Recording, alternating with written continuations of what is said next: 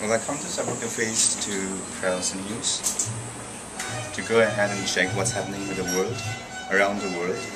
At the same time, I also want to know what's going on with the uh, with the youth of Nagaland, or I should say, uh, in general. While information technology is more advanced in other parts of the country, Nagaland has a long way to go. Though internet can be accessed through cell phones, we Nagas still prefer to visit cyber cafes. Uh, I don't have internet facilities in my phone, so I come here to browse, uh, to connect with my friends, and chat with my friends. So which sites do you use mostly? Facebook.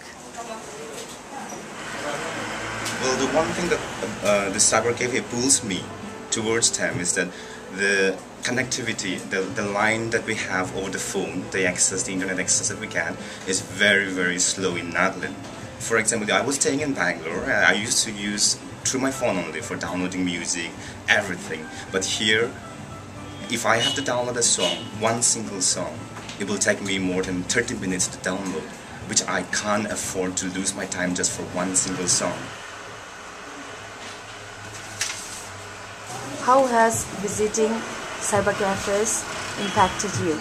There are, there are many of my friends whom I've lost contacts with them, so I'm getting to connect them through Facebook as well. Uh, without internet, life would be impossible because it's helping my studies.